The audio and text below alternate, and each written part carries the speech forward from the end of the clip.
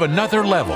The might of the mind got them this far, but it will take stamina now to remain champion.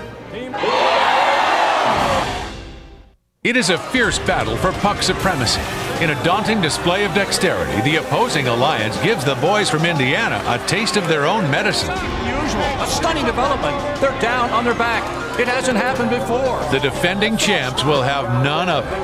Unfettered, they right themselves Rising from the ashes. and show you can run, but you cannot hide from the power of their arm. Push him! Push him! Get him off of there! Yes! Yes!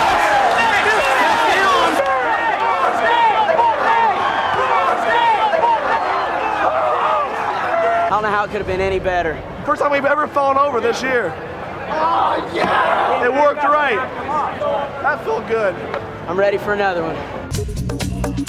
Ironically, their opponents in the semis include Beatty, Team 71, the team that eliminated them in Chicago. If anybody touches the robot, I'm gonna You know what? hurt somebody. They take Beatty to school and clean their clock. They knock Beatty over.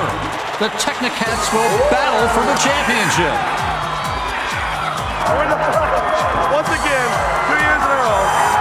Amidst the celebration of reaching the finals, quietly, they begin to wonder how much more damage can their robot sustain.